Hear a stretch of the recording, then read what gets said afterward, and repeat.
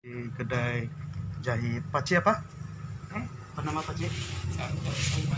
Pak Santos Suman. Paci Santos Suman.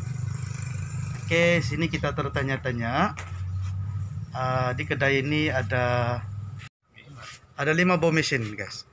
Ada satu, ada dua, tiga, empat, dan juga ada lima di sana. Tapi yang kita peliknya ialah ah, hanya satu orang saja Paci yang yang menjahit di sini. Jadi sekarang kita mau tanya Paci, ah, kenapa ada lima mesin? Ini apa Paci tadi? Ini sulam. Ini untuk sulam, Ini untuk saya Ini? yang tipis. ini untuk ah, kain yang nipis, Hmm, itu jeans. ini untuk kain yang tebal yaitu jeans, dan ini apa tuh? Jet siring. Untuk jahit siring seperti potong lah kan? Seperti ini. Potong seperti ini. Hmm. Oke, untuk potong ini ini seluar ah, seluar panjang tapi kita potong dia untuk jadikan ah, seluar pendek. Dan ini eh ini tadi ini ini yang last. Ini jet yang macam kain tipis. Oh, ini kain oh sama. Ini sama kain tipis. Oke. Jadi sekarang saya mau tanya Paci. Oh, ini dua nih. Ini ini saat tidak. Ini manual. Benar, ini pun benar.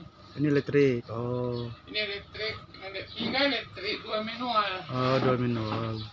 Tapi kalau kita mau jadikan elektrik boleh juga. Ini kan? Hmm. Cuma saya buka baru rusak. Oh, rusak. Mana mana mesin jahit yang pertama Paci punya? Oh sih, itu rusak sudah. Oh, rusak sudah.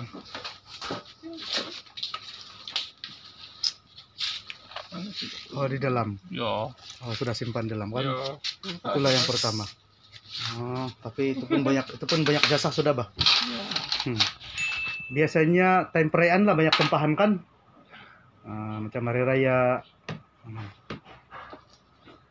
Tapi sebenarnya ini kedai saya buka sepanjang tahun. Iyalah. tidak bilang musiman. Habis hari hari kalau orang kebutuhan orang permainan kan. Hmm. Itulah. Semua barang nih, ini semua ini kan mesin jahit, ini ada ada lima semua ini kan. Berapa anggaran semuanya? Oh, saya bukan langsung beli semua. Oh. Salah satu dulu, saya hasilnya dari itu aku beli, hasilnya dari itu Oh. aku beli. Jadi ini semua mesin ini tidak pernah ditukar lah Tidak. sejak beli. Ya, Oh, iyalah. kalau kalau kilo kos dia memang banyak sampai ini ke 1999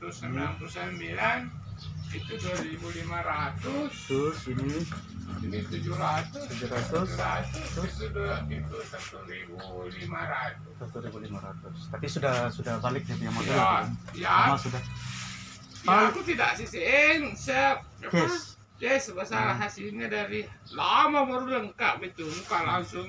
Ya, bukan satu kali kan? Hmm, bukan, begitu. sebab kalau langsung satu kali, Hmm, kita tidak tahu Ya. berapa untung dia. iyalah. Jadi kita mau tengok perkembangan dia. Hmm. Ini uh, Paci bilang sudah berapa dari tahun 2000 Tiga. 2003 lagi 2003 di Nabawan. Jadi apa perbezaan yang dulu dan sekarang dari segi uh, hantaran kain? Adakah sama saja? Tidak berbeza. Uh, Dulu bang, dulu masa banyak kilang bang, banyak orang. Hmm. Sekarang jadi kilang, kurang tempatan saja. Kurang lah. Jadi um, apa namanya nih? Satu hari agak-agak berapa? Berapa Paci boleh siap kain? Kelihatan begini, 10 pun 20 pun boleh. Oke, 10 Punya. Oke. Ah, Saya mau tengok dia aja. 10 kain begini. Selain daripada yang menjahit yang biasa, orang macam antar jahit, adakah Paci buat ya ah, apa nama? Yang contohnya kain dia antar kain untuk buat baju. Jadi desain sendiri. Oh. Jam perempuan punya warna merah itu ha- harganya berapa kalau jahit? 45. 45. Yang sebelah pun sama juga. Ya. Oh. Kalau kain batik eh, untuk lelaki berapa Pak Cik? 55. Kalau kain eh, staf macam contoh yang eh, putih itu kan kesehatan kan satu set baju dan seluar berapa? Oh satu ratus. 100 yang lelaki tidak kan kesehatan lelaki berapa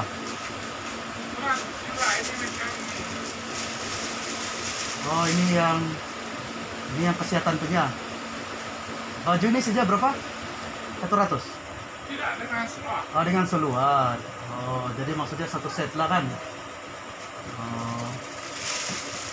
oke berapa sewa ini Pak Cik? ini kedai ini pas memang sudah punya. Oh, jauh majelis satu. Tapi memang sudah lama menetap di Nabawan ini kan. Mungkin terkawin orang sini. Ya. Oh. Mungkin ada paci penyanak di Nabawan, di SMK Nabawan. Untuk belajar. Tiada sudah apa nih semua semua ada anak. Oh, tapi pernah sekolah di sana kan? Iya. Ah, di Tawau, Jadi di sini. Oke lah Pakcik, itu saja eh, serba sedikit tentang kehidupan Pakcik yang menjahit seluar. Tapi memang ada adakah yang macam COVID ini kan dia macam ada kurang sedikit eh, orang lantai ataupun tempahan kan macam tidak juga. berat. Masa COVID ini kan banyak Ya, um, apa banyak kurang di sana kan orang rentan jadi kita berdoa supaya Paci terus uh, berusaha terus uh, memajukan dia punya kedai ini kedai jahit. Tapi memang penting banget kedai jahit nih kalau tidak kedai jahit di Nabawan rasanya macam kurang persaingan kan kalau di Keningau banyak banyak. Jadi kita terpaksa bukan terpaksa macam kami ini yang minta jahit ini memang banyak pilihan. Tapi kalau di Nabawan ini syukurlah. Berapa saja di Nabawan ini? Ada ada jahit eh, baju? Dua eh, tambah dengan eh, tamu kan hari tiga dan hari hari enam baru Oh, yang di sini tamu satu kali sejak sekarang semasa covid. Eh, kalau sebelum ini dua hari lah Satu, satu kali satu minggu. baru itu yang daripada daripada Keningau batu kan yang datang menjahit Oh sekarang sekarang covid tidak ada. Oh, dong tidak datang sudah. Oke lah Pakcik, terima kasih Pakcik ya. Sebab masuk eh, Oke, karena eh, sebab eh, ada ruang untuk kita temu ramah dan itu saja. Terima kasih.